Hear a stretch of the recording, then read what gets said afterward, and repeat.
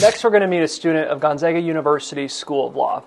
She plans to focus her law career in public interest aimed at reforming our current system and inspires to develop restorative practices to become a worldwide model for change. She's been a volunteer crisis response advocate with Lutheran Community Services Victim Advocacy Team since 2017. As a volunteer, she takes multiple eight hour shifts per month. During this time, she's the first on call answering a 24 hour support line and responding to local emergency rooms who support survivors of sexual assault. When interacting with survivors, she is providing advocacy, crisis intervention, and informing victims of their rights under Washington law.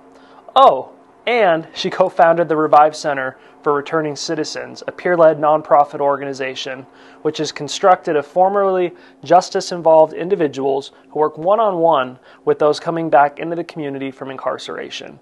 The organization connects them with community partners that provide housing, legal support, basic needs, and mental health treatment services. The winner of our Emerging Philanthropist of the Year is Amber Letchworth. Now, you are going to the Gonzaga Law School right now, and that's that's a lot to uh, do just on your own. But aside from going to school, you're also volunteering at Lutheran Community Services. And tell me a little bit about why you wanted to get involved there and why you think it's so important. Yeah, so when I first moved to Spokane, um, I heard a lot about Lutheran Community Services and I didn't really know what it was. And then I started studying social work and um, kind of thinking that that might be a career path for me and um, started looking at places that I could kind of volunteer to get my feet wet. And so um, I reached out to the coordinator.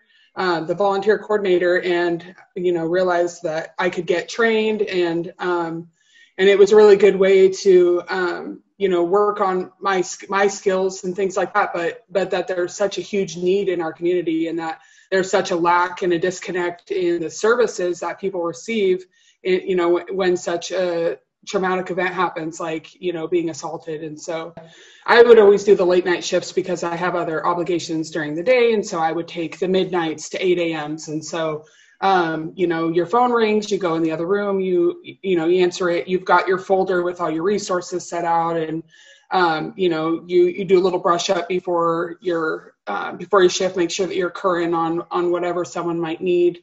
Um, and you know sometimes it's just a phone call someone who can't sleep and they're having you know some thoughts and some feelings about their you know their trauma and they just want to talk it out with someone Sometimes it's a 10 minute phone call. Other times you're being called out by the hospital and they want you, um, uh, they've, you know, a survivor has requested an advocate. And so you'll go in there and you'll, you'll sit with them, you know, right. Sometimes you meet them right in the waiting room and you're waiting with them, you know, sometimes it's 20 minutes, sometimes it's two or three hours and you're waiting for, you know, um, a doctor to come back, come back, and then you're there to assist them through the whole examination, through the police interview. Um, you know, you're there to advocate for them, um, and yeah, just really kind of be there. And they're they're they're missing that human element at the hospital. You know, some things are so like business, business, business that you get to be there just for the advocate or just for the survivor, and you know, you don't have an agenda like everyone else in the room, and so it's just